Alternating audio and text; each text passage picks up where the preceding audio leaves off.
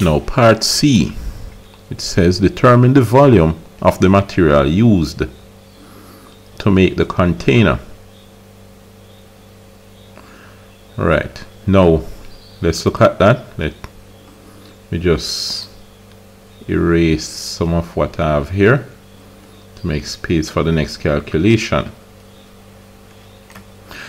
Now what you have the volume of the material used to make the container.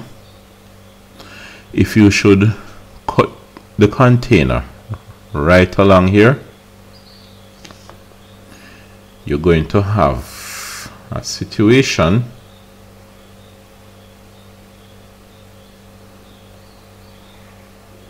where you have the top part of the container all right? Me put some hidden details here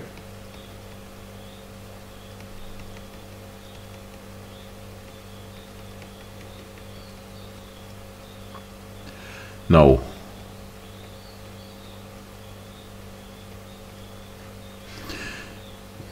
you also have the base of the container.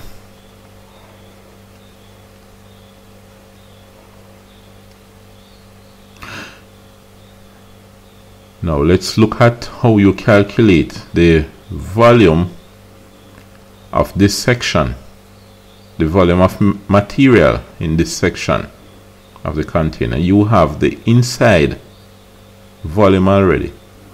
This would be 119.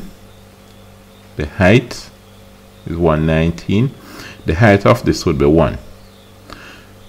Looking at this section here, you have 14 for the inside radius and 15 for the outside radius. The inside volume was already calculated at 73,304. Let's find outside volume which would be the volume of space plus material. So the volume, let's call that volume 2, would be pi r squared h which would be 22 over 7 times 15 squared times the height of 119 so using a calculator I'll just use my uh, calculator offline. Do the same. Do you use your calculator and see what you get. 22 over 7 times 15 squared times 119 equal what did you get? I got 84 150 cm cube. All right that's the volume of everything. Now the volume of the material for the top section let's call that volume 3 it would be 73,304 minus no this would be the larger um, figure.